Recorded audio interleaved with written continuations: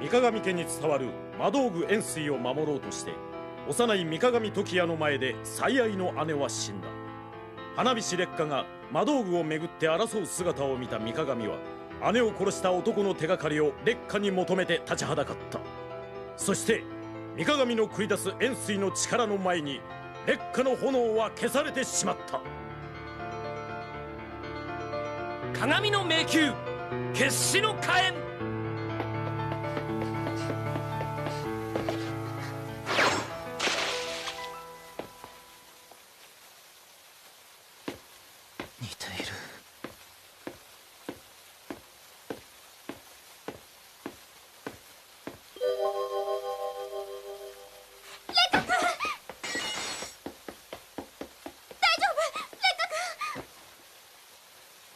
君は私にはわからないどうしてなぜこんなことができるの。あなたには人の心がないんです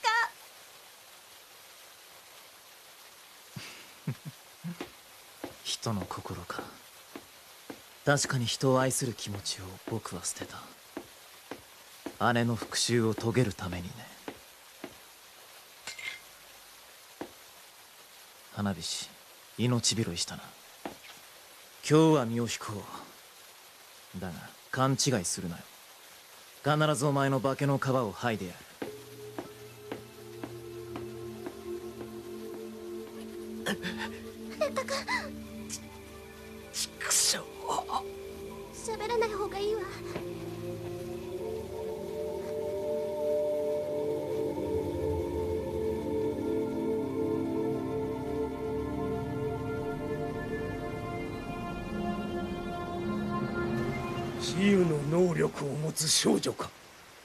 現場で傷を治したという噂をたどったところどうやらこの少女のようです。これが。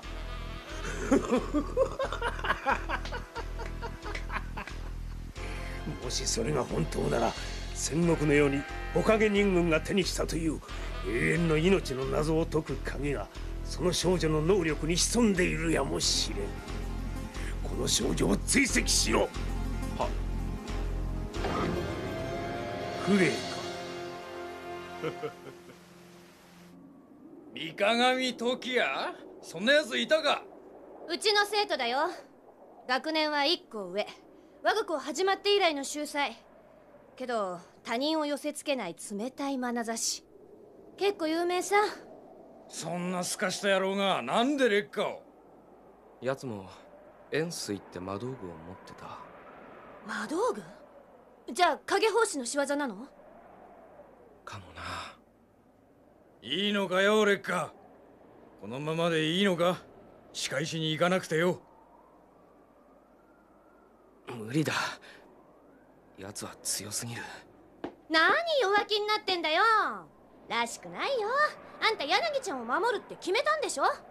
そんなことで。鉄火マ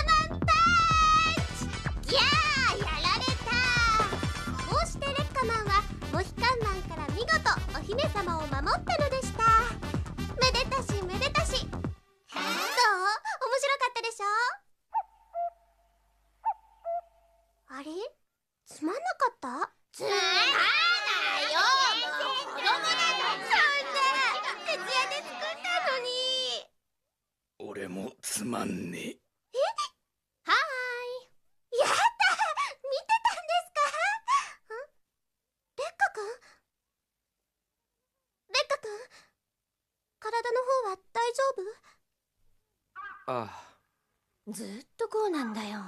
しかし坂下がこんなバイトをしてたとはな。私子供好きですから。あの紙芝居よくできてたね。俺は納得いかん。なんで俺が悪者なんだ。顔が悪者してるじゃない。え。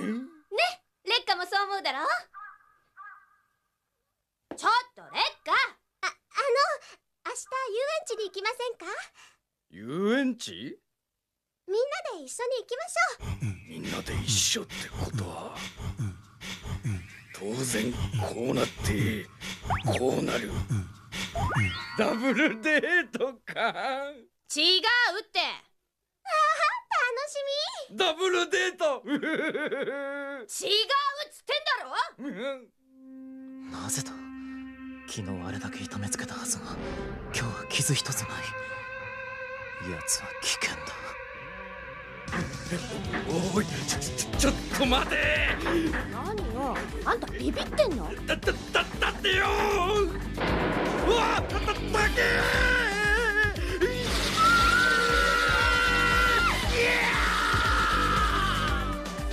ああ面白かった。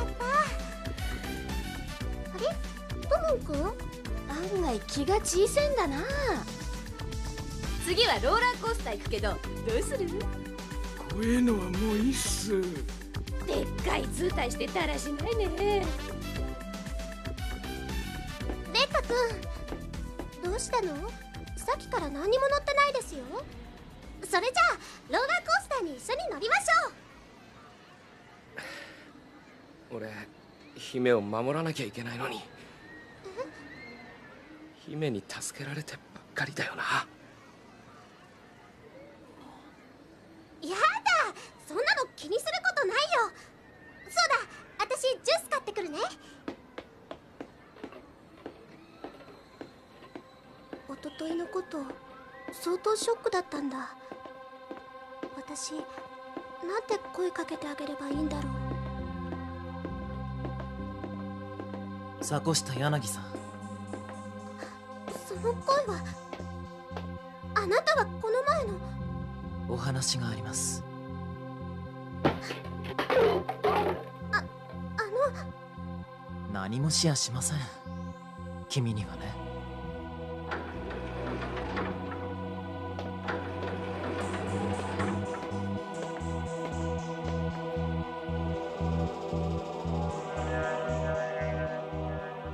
花火師劣化は君を探して間もなくここにたどり着くでしょう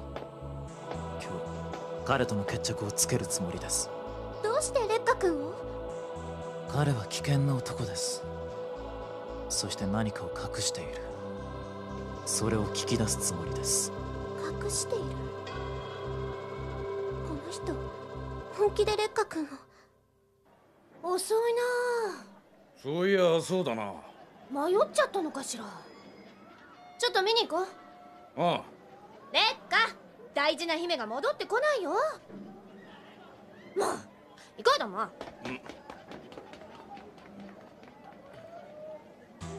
これは？僕の姉です。だが今の君と同じ年で殺された。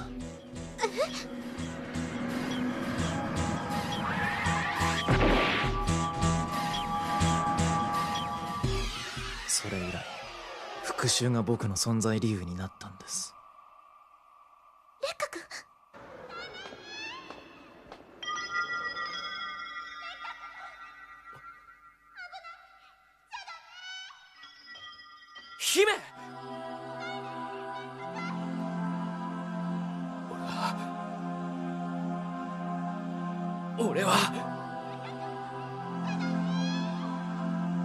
俺は姫の忍者になるって決めたのに。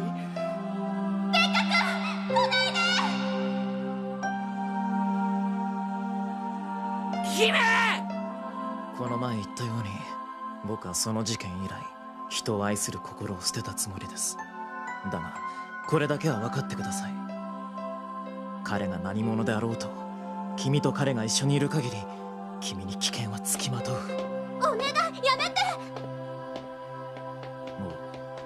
遅いようですね姫大丈夫か？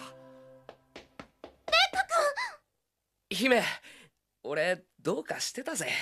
一度負けたぐらいで姫を守れねえとか弱音吐いちまって。ごめん。許してくれるか？もう二度と迷わねえ。この花火師烈火どんなことがあろうと姫を守っていく。いいだろう姫。烈おい三鏡姫に何しようってんだ？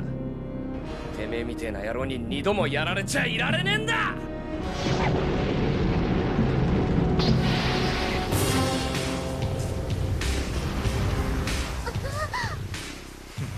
守るだと。ナイト気取りだな。下がっていてください。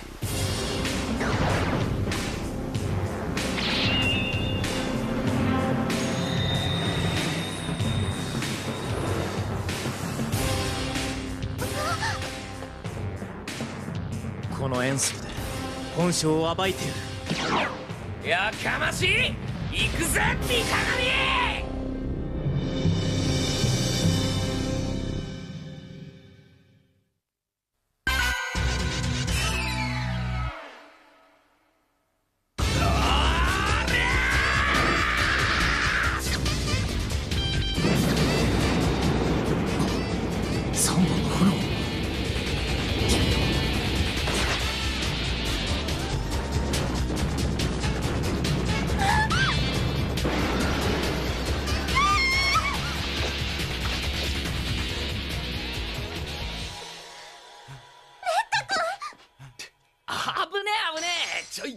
すぎたぜ。烈火くん痛くない？痛くない？なんのなんの全然痛くねえ。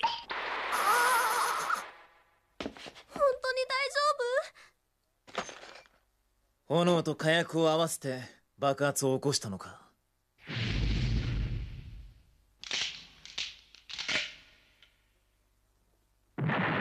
少しは考えたようだな。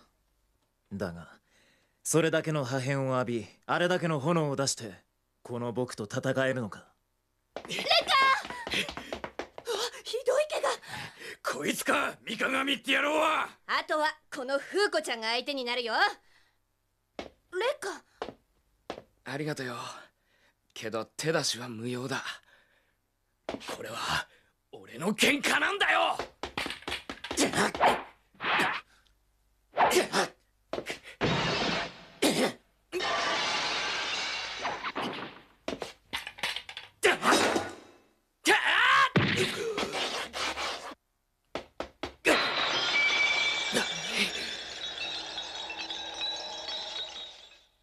何をしている？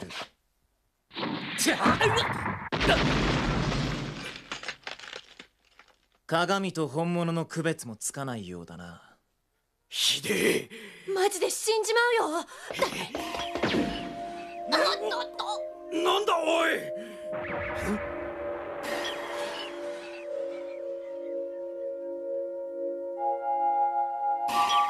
影星ババア邪魔すんじゃねえ止めてはいけないわ。三鏡続きやろうぜ。あら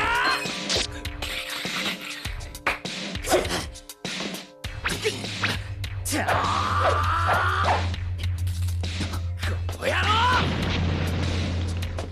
郎もらった。ま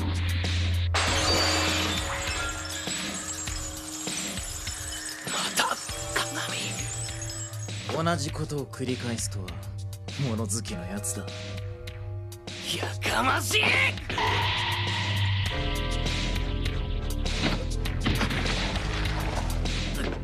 その気合にだけは敬意を表する。よだが気合だけではどうにもならないようだな。やべえよこりゃ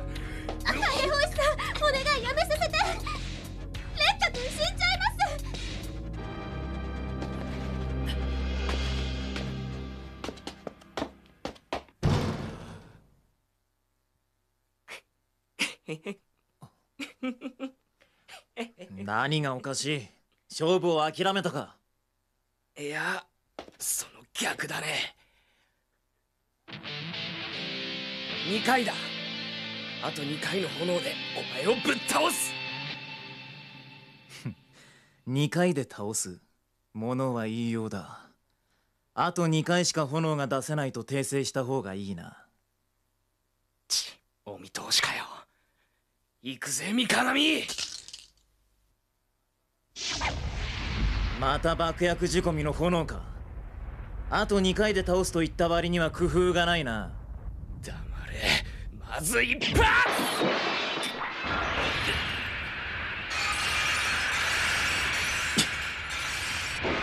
なるほど。鏡の像に惑わされたくなくて一発目は鏡を破壊することにかけたか。あと一度奴の炎を防げば僕の勝ちだ。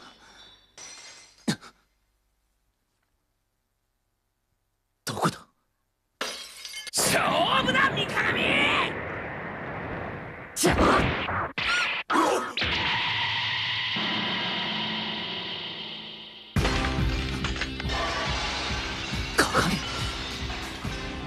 本体は？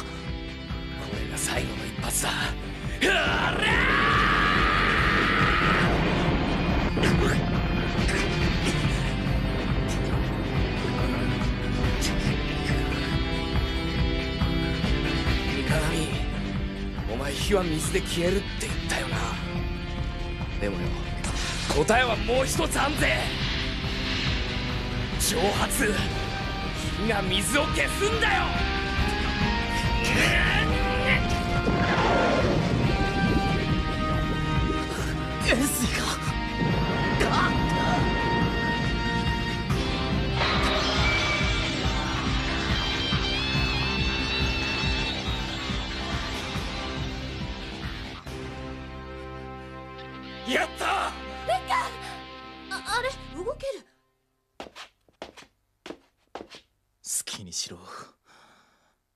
僕を殺すか。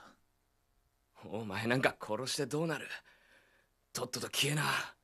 君は姉を殺して円錐を手に入れようとした連中とは本当に関係ないのか？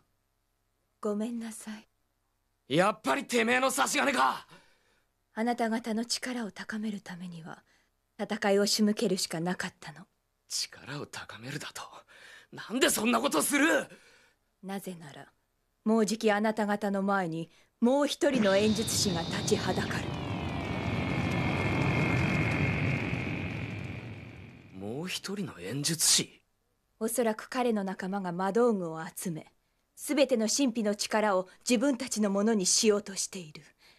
あなたのお姉さんの敵もおそらく彼の周辺にいると思うわ。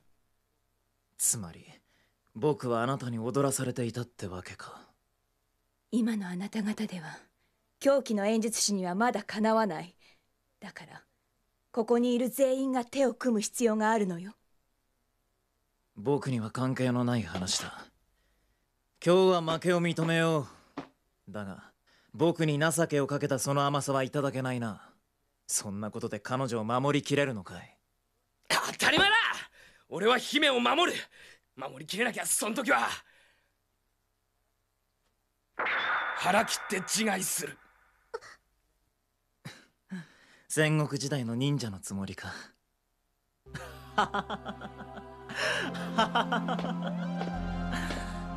その誓い本当だな。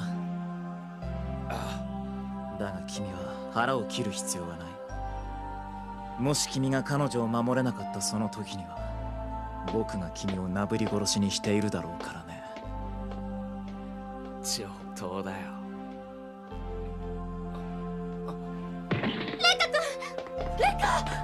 出血がひでえ。急いで病院だ。私が治します。治すってどうするつもりだよ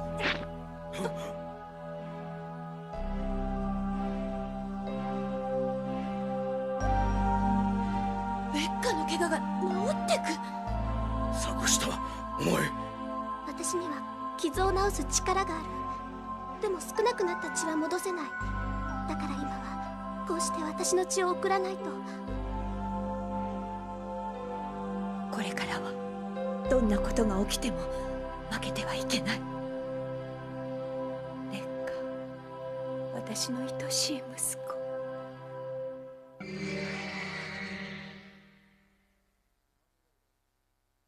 間違いありません。目標の迫下柳は何らかの特別な力を持っています。そうか。それから少女の周辺には数名の特殊能力者がいる模様です。何？どうしたクレイ？嬉しいのです。この間からの魔道具の共鳴の原因はそれでしたか。治癒の少女は私が抑えます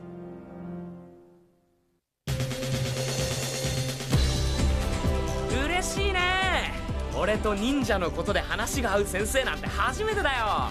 立迫先生ブラボー！あところで先生おかげ人軍って知ってる？俺どうしても知りたいんだわかんねえけど知っておかなきゃなんねえ気がするんだよ。次回影の人軍おかげの謎。俺の心が炎と燃えるぜ！